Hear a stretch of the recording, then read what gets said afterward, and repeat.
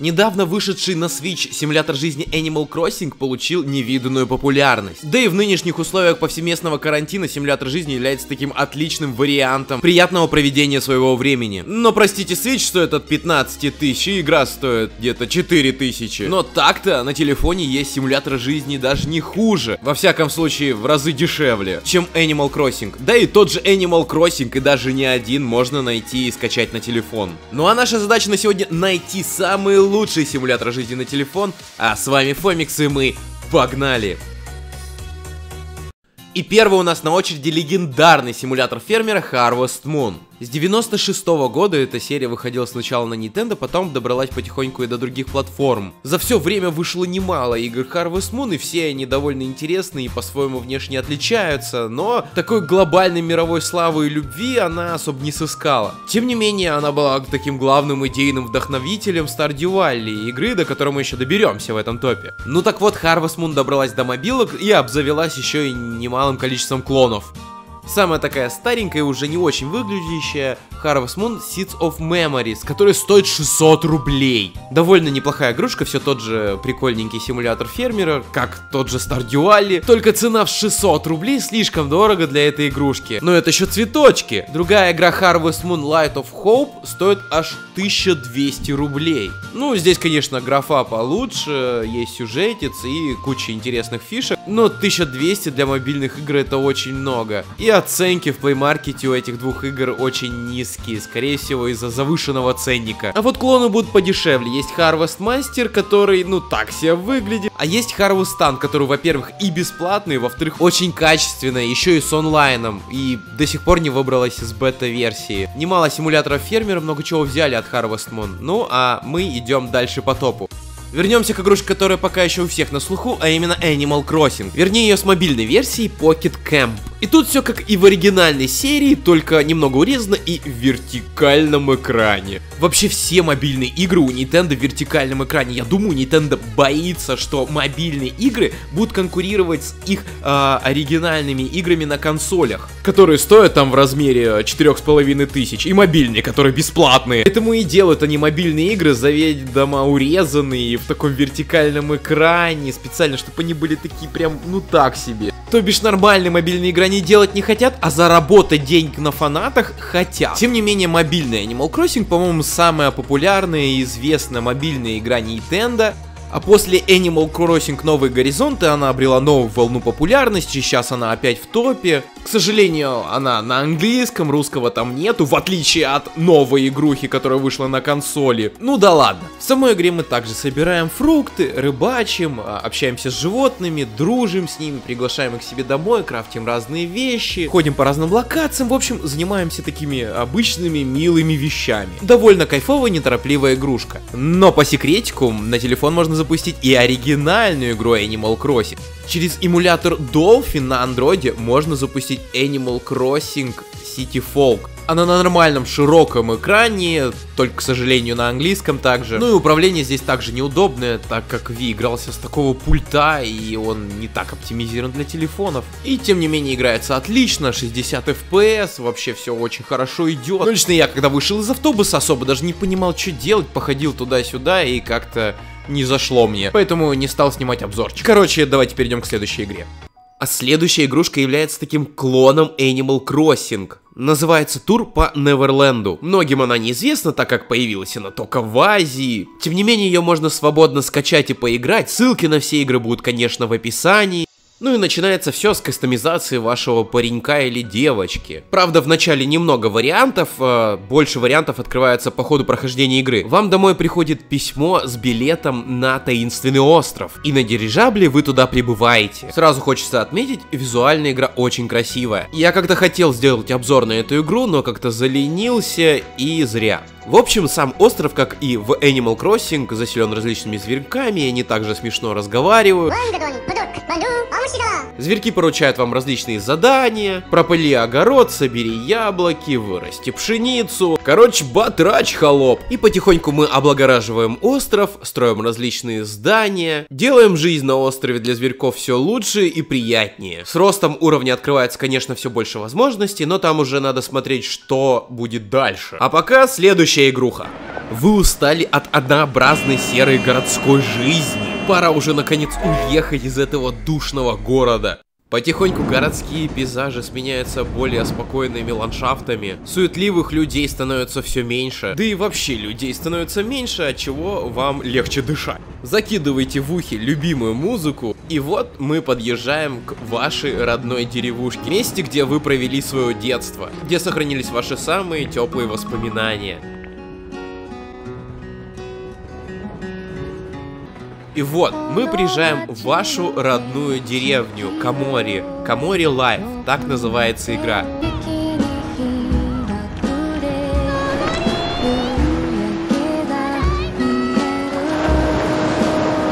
Начинается сразу такой интересный выбор персонажа. Мы можем выбрать из той воодушевленной девочки или другой модницей. Можем выбрать наглого развалившегося блондина. Но лично мне симпатизирует тот одичалый парень, уткнувшийся в свою мобилу. Потихо его кастомизируем и погнали. На перроне нас встречает то ли наша сестра, то ли подруга детства. Типа, братян, здорово. Игрушка также очень красивая и, опять, к сожалению, она на китайском. У нас она еще пока что не релизнулась. Немного, кстати, еще напоминает Stardew Valley, до этой игры мы еще доберемся. Только деревушка уже такого азиатского стиля. Да, еще это ММО. ММО в деревне. Рядом бегают другие деревенщины, с которыми мы можем взаимодействовать и общаться. Картоху иди копай! Ну или рис, что вы там выращиваете? Тем временем мы притопываем наш фамильный дом, который, мягко сказать, в жопине. Нам придется здесь жить, восстанавливать, чинить. Короче, из бомжатни в дворцы. Но до дворца еще куча времени и работы. Нам дают мотыгу, серп и другие инструменты. Ну и начиная работать, сеять, пахать. И еще готовить разные блюда, например, картоху фри. Ну и потихоньку отстраиваем дом, качаем персонажа, заводим друзей, выращиваем помидоры и кайфуем. Игра, правда, кайфовая, жаль на китайском. Может быть, когда-нибудь релизнится у нас. Дальше у нас идет клон Симса. До самого Симса мы еще доберемся, но эта игрушка называется Home Street. Тут игруха начинается с того, что ваша бабка сваливает на Карибы и оставляет вам дом. И так как вы Аболту за всю свою жизнь не смогли наскрести себе на свое жилье, то пакуем манатки и переезжаем. Дальше по вкусу создаем своего персонажа. И вот мы уже не бомж, а со своей жилплощадью. На этом наше везение не заканчивается, и к нам подваливает еще секси-соседка. И ни с того ни с сего она еще помогает нам заселиться. Ой, ты такой бедный, здоровый мужик, давай я тебе помогу донести коробки до дома. Это просто писос как логично. Готовим ей печеньки, а там, может, делай дальше попрет. И таки да, она приглашает к себе домой, ты понимаешь, что в отличие от тебя, люди хоть зарабатывать умеют. Дом у нее, мягко сказать, шикарный, на, на такой тебе придется еще так же батратить. В общем, игруха веселая. Тебе также надо будет покупать мебель, обустраивать свой дом, выполнять задания окружающих тебя людей. Небольшой городок вокруг тебя постепенно меняется, ты прокачиваешься. Рядом могут шастать персонажи уже реальных людей, с которыми ты можешь познакомиться, уже ходить друг к другу в гости. Крутой клон Sims, но далеко не единственный Sims на мобилках. Следующая игрушка уже не совсем игруха, а скорее такой интерактивный чат. Awaken Life где вам надо будет одеть персонажа и гонять по различным тусам, э, общаться с людьми и в принципе все, что тут можно делать. Можно будет купить за донатную валюту как одежду, так и такую яхту. Это ваш дом, который вы можете нафаршировать мебелью, поставить какое-нибудь экзотическое животное типа единорога, ну или вон пингвина. Есть даже какой-то аналог работы, что-то типа официантом, но вы можете долго ждать, пока вас кто-то заказ возьмет. Зато здесь только реальные люди. Чисто общение с людьми и дэнсить и танцевать на сцене. И еще понтоваться своими костюмчиками и позами и анимациями. Чё? Я только зашел видео записать на 5 сек. Ну его нах. И мы наконец добрались до мобильного Симса. И на телефон их выходило аж два. Sims Freeplay и Sims Mobile. И они довольно сильно отличаются. И начнем мы с Sims Mobile. Ну, во-первых, Sims Mobile у меня почему-то недоступен в плеймаркете, я не могу из-за этого его записать, поэтому будем смотреть мой очень старый геймплей. Ну, во-первых, Sims Mobile более новый, чем Sims Freeplay, поэтому графика здесь чуть получше, и тут более развита кастомизация персонажа. Сам Sims Mobile более приближен к оригинальному Sims. Играем мы в основном одной семьей. У нас всего в распоряжении один дом, который мы постепенно увеличиваем и обогащаем. Только вот больше одного этажа дом делать вроде уже нельзя. За различные действия персонаж получает опыт и прокачивается. Самое такое интересное, здесь развита система карьер. Вы можете а, выбрать свою карьеру и потихоньку работать, батрачить, зарабатывать деньги, опыт. Поначалу ты официант, потом получаешь повышение до бариста, ну и потихоньку поднимаешься по своей карьерной лестнице. Заселяешь еще кого-нибудь к своему симу, они там чичипунчуска и делают детей. Ну, в общем, стандартный Sims. Ну, а теперь Sims Freeplay, который уже довольно старый, тем не менее популярный. И помимо игры за обычного Сима, нам придется еще развивать и отстраивать свой собственный город. Добавлять различные места работы и заселять его разными персонажами. Здесь более развито строительство, вы можете построить э, многоэтажные особняки, больше мебели, вещей и куча всего. Также таким существенным отличием является то, что различные действия ты будешь выполнять различное количество времени, от э, секунды до дня. И у тебя, скорее всего, будет много персонажей, ты будешь по очереди каждому играть. И ждать, пока что кто выполнит, и прожимать его, и получать за это опыт, валюту. В этой игрухе еще куча всего есть, но, во-первых, я не так много играл, чтобы рассказать об этом, а во-вторых, у нас ограниченное время, поэтому идем сразу дальше, но перед этим я не могу не рассказать о том, что я на телефоне через тот же эмулятор Dolphin запустил самый настоящий Sims 3. Да, Sims 3, оказывается, выходил на Wii, и теперь, благодаря этому, его можно спокойно запустить на своем телефоне. Но я думаю, Sims 3 на андроиде достоин отдельного обзора, поэтому если вам действительно интересен э, про это видос, то ставьте лайки, пишите об этом в комментах, а мы уже переходим к последним играм топ. А, подождите, на финальной стадии монтажа я нашел, что оказывается Sims 3 выходил на телефон. Но это был самый первый мобильный Sims, абсолютно урезанная версия в сравнении с оригиналом.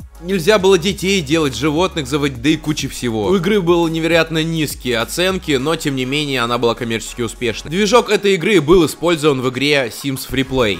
Ну а этот мобильный Sims сейчас уже, наверное, нигде не найти. Игруха на втором месте у нас от русских разрабов. Действие игры происходит в средневековье, и мы играем не просто каким-то всратым фермером, а средневековым смотрителем кладбища. Визуально игруха выглядит просто потрясающе. Стоит она порядка 400 рублей, отдельно еще DLC покупаются, но игра однозначно стоит своих денег. игруха начинается не просто с банального, что тебе кто-то в наследство оставляет дом, а ты в нашем мире подыхаешь, и какая-то смерть или какой-то чувак перераспределяет тебя в другой жизни на профессию смотритель кладбища. И вам надо будет таскать трупы, резать трупы на мясо, чтобы продать потом мясо в местную таверну, где из него сделают бутеры. Хоронить эти трупы, за это, кстати, тоже получать деньги, так как это наша работа. Еще ухаживать за кладбищем, общаться с призраками, общаться с черепом, общаться с говорящим ослом. Нафиг ненужные трупаки выбрасывать или сжигать, читать проповеди своей церквушки, сражаться с монстрами, ухаживать за огородом и проходить основной сюжет. А он здесь достаточно достаточно оригинальный с уморительными диалогами. Игрушка однозначно шикарная и надо как-нибудь ее пройти. Надеюсь, в ней вы найдете покой на кладбище. Ну, а мы наконец уже перешли к первому месту. И на первом месте у нас игрушка Stardew Valley, которая представляет из себя на самом деле тот же самый Harvest Moon. Изначально игру делал всего один человек, Эрик Бароны, который делал на самом деле для себя свой лучший эмулятор фермера по образу Harvest Moon. Но в сети игра получила бешеную популярность, у игры появился издатель, и спустя 4 года после начала ее разработки игра релизнулась. Через некоторое время она вышла уже на все возможные платформы, включая смартфоны. Ну и классические начинаются с того, что когда-то давно ваш дедок перед смертью завещал вам домик в деревушке Стардювалли. Со словами, что когда ты устанешь от всей этой городской жизни, вспомни о моем подарке подарки. И вот, в очередной раз устав от работы в душном офисе, вы в ящике находите свое наследство и решаете, что нахер работу, пойду лучше копать картошку и посылаете в жопу своего босса. Находите свой домик, который, мягко сказать, не лучшей форме, и понимаете, что вам предстоит еще куча работы, чтобы превратить это место в райскую ферму. И тут вы уже начинаете познавать все прелести этой сельской жизни. Начинаете выращивать перц, клубнику, картоху, заводите скотинку, там, курицу, коровку, начинаете доить молоко, все это продавать на рынке, также добывать руду, сражаться с монстрами, однако, рыбачить, ездить на лошадке. Надо поддерживать отношения с соседями, можно подружиться, ходить на днюхи и в конце концов с кем-нибудь даже пожениться. Завести свою семью, помимо этого в игре есть какой-то сюжет, и со временем в деревне происходят разные события. Время в деревне стоит на месте, меняется погода, также меняются времена года, и каждый раз вам надо выращивать разную культуру. В игре также есть мультиплеер, и вы можете спокойно играть со своими друзьями, только, по-моему, не на мобильной версии. Я как-то стримил с друзьями это дело, и было очень весело. На телефоне игрушка стоит около 400 рублей, также не жалко этих денег. Ну а это была последняя игра этого топа. И далеко не последний симулятор жизни на телефон. Пишите в комментах, какие игры я пропустил. Если вам понравился видос, то дайте знать лайком и своим комментом. Все игры в топе будут в описании. Ну а с вами был Фомикс. На этом все. Всем спасибо, всем удачи и всем пока.